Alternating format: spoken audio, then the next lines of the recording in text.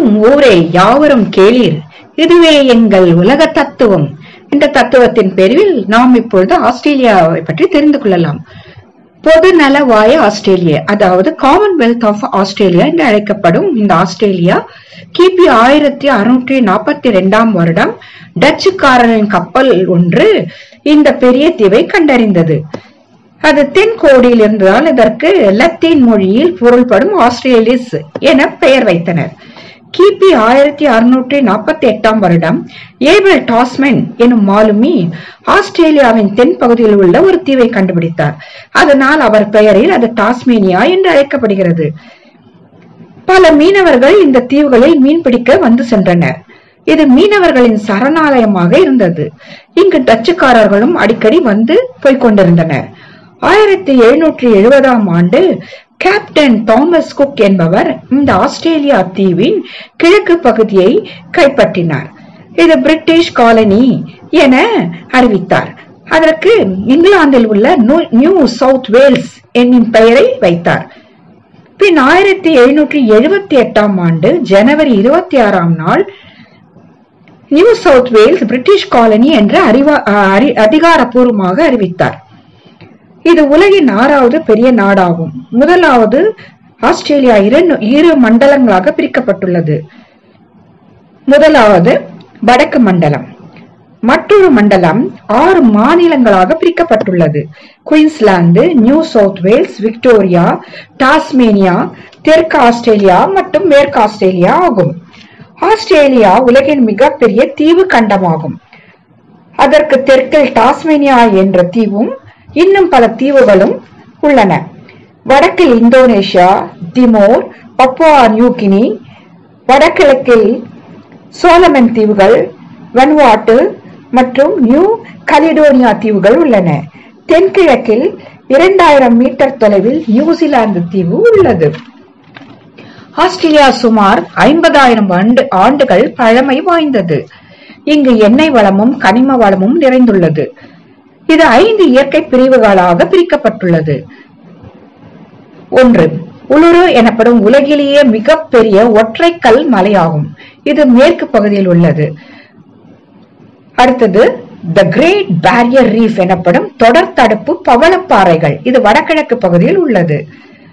அடுத்தது the great dividing range எனப்படும் மலைத்தொடர்கள் கிழக்கு பகுதியில் உள்ளது. பின் விக்டோரியா மாநிலத்தில் டுவெல் அப்போசல்ஸ் எனப்படும் கடலால் அரிக்கப்பட்ட நிலப்பகுதி உள்ளன. மத்தியில் வறண்ட தட்டையான நிலப்பகுதி பாலைவன பகுதியாக உள்ளன. இதை தவிர சில தீவுகள் ஆஸ்திரேலியாவை சுற்றி உள்ளன. நோர்போக் தீவு கிறிஸ்மஸ் தீவு கொக்கோஸ் தீவு ஆஷ்மோர் தீவு கார்டியோர் தீவு பவளக்கடல் தீவு ஹோட் தீவு மேக்டொனால் தீவு மற்றும் ஆஸ்திரேலிய அண்டார்டிக் மண்டலங்கள். த கிரேட் பேரியர் ரீஃப் பெரும் தடுப்பு வளர்த்திட்டு வளத்திட்டு.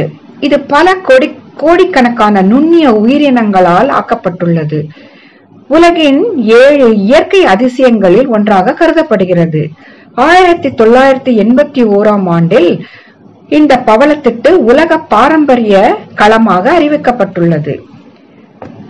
பவளப்பாறைகள் காரல் ரீஃப் எனப்படுவதை பற்றி பார்க்கலாம். கடலையினுள் பவளம் எனப்படும் உயிரினத்தால் சுரக்கப்படும் கால்சியம் கார்பனேட்டால் உருவாகின்றன.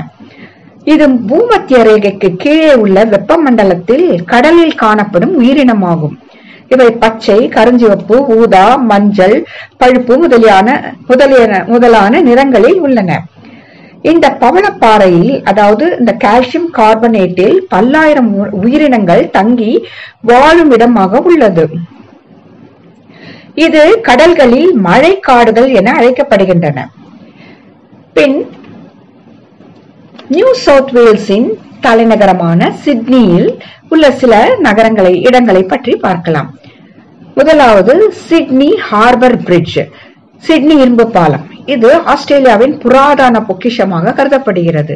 இது தெற்கில் டேம்ஸ் பாயிண்டில் தொடங்கி வடக்கில் மில்சன்ஸ் பாயிண்டில் முடிவடைகிறது. சுமார் சுமார் ஆயிரத்தி நூற்றி நாற்பத்தி ஒன்பது மீட்டர் நீளம் உள்ளது. அகலம் நாற்பத்தெட்டு புள்ளி எட்டு மீட்டர் ஆகும். எட்டு பாதைகள் உள்ள பாலமாகும்.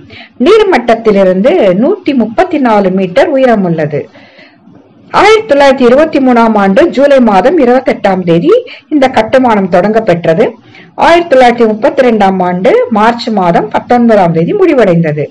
இது உலகிலேயே ஆறாவது உயரமான பாலமாகும். Darling harbour. டார்லிங் துறைமுகம். ஆயிரத்தி எண்ணூற்றி பதினோ பதினோராம் ஆண்டு கண்டுபிடிக்கப்பட்டது. பத்தொன்பதாம் நூற்றாண்டில் மிகப்பெரிய வியாபார தளமாக இது வளர்ந்துள்ளது. சிட்னியின் முக்கிய துறைமுகம் ஆகும். ஆயிரத்தி தொள்ளாயிரத்தி எண்பத்தி நாலாம் ஆண்டு இருநூறாவது ஆண்டு விழாவின் போது இது மே மென்மேலும் மேம்படுத்தப்பட்டது. ரியா என்னும் மாற்றுப்படுக்கைத்தான் சிட்னி துறைமுகம் ஆகும். அங்குள்ள அநேக தீவுகளின் இது முகத்துவாரமாக உள்ளது. இங்கு ஓட்டல்கள் மிருக காட்சி சாலை மெழுகு பொம்மை காட்சியகம் அருங்காட்சியகங்கள் மற்றும் கடல்வாழ் உயிரினங்கள் காட்சியகம் மற்றும் சீனர்கள் தோட்டம் சைனீஸ் ஃப்ரெண்ட்ஷிப் கார்டன் ஆகியவை இங்கு அமைந்துள்ளன. இதை தவிர ஆஸ்திரேலியாவின் அடையாள சின்னமான ஓப்ரா ஹவுஸ் இது அமைந்துள்ள இடம் டார்லிங் துறைமுகம் ஆகும். ஆயிரத்தி தொள்ளாயிரத்தி எண்பத்தி நாலாம் ஆண்டு ராணி இரண்டாம் எலிசபெத் அவர்கள் இதை சுற்றுலா தலமாக விரிவடைய செய்தார். ஆயிரத்தி தொள்ளாயிரத்தி ஐம்பதாம் ஆண்டு இதனை வடிவமைக்க மாதிரி வடிவங்கள் கோரப்பட்டன. இதற்காக இருநூற்றி முப்பத்தி மூணு வடிவங்கள் உலகிலிருந்து பல பாகங்களிலிருந்து வந்தன. டென்மார்க் சிற்ப வடிவமைப்பாளர் ஜோன் உட்சன் என்பவரின் வடிவமைப்பு தேர்வு செய்யப்பட்டது. ஆயிரத்தி தொள்ளாயிரத்தி ஐம்பத்தி ஓராம் ஆண்டு இவர் ஆஸ்திரேலியா வந்து வடிவ தான் வடிவமைக்கப்பட்ட இந்த கட்டிடத்தை அமைக்க வேண்டிய இடம் பொருட்செலவு பொறியாளர் தேர்வு மற்றும் இதர விடயங்களை பற்றி விவாதித்தார். பிரிட்டிஷ் பொறியாளர் கம்பெனியுடன் இவர் ஒரு ஒப்பந்தம் செய்து கொண்டார். பின் சில பிரச்சனைகள் காரணமாக இவர் இந்த கட்டுமான பணியிலிருந்து தன்னை விடுவித்து- விடுவித்துக் கொண்டார். ஆயிரத்தி தொள்ளாயிரத்தி அறுபத்தி ஓராம் ஆண்டு பணி முடிவடைந்தது. ஆனால் ஜோன் உட்சன் கற்பனையில் உருவான இந்த கட்டுமானத்தை காண அவர் இதுவரை ஆஸ்திரேலியாவும் வரவே இல்லை. சிட்னி டவரை அது ஆயிரத்தி மணிக்க வேண்டும் முன்னூற்றி ஒன்பது மீட்டர் உயரமுள்ள டவர் ஆகும் இங்கிருந்து ஹார்பர் பிரிட்ஜ் மற்றும் ஓப்ரா ஹவுஸ் மற்றும் பல தீவுகளை காணலாம். இதை கட்டுவதற்கு ஆறு ஆண்டுகள் ஆயின. இருபத்தி ஆறு மில்லியன் டாலர்கள் செலவு செலவு செய்யப்பட்டன. இங்கிருந்து ப்ளூ மவுண்டன் எனப்படும் நீலகிரி மற்றும் டாஸ்மேன் கடலையும் பார்க்கலாம். சிட்னி டவுன் ஹால் இந்த இடம் முக்கிய அலுவலகங்களும் வியாபாரங்களும் வியாபார தளமும் நிறைந்த இடமாகும். மக்கள் நடமாட்டமும் கூட்டம் அதிகம் உள்ள மத்திய பகுதியாகும். சிட்னி கடல்வாழ் உயிரினங்கள் காட்சியகம். சுமார் அறுநூறு வகை உயிரினங்கள் இங்கு பாதுகாக்கப்படுகின்றன.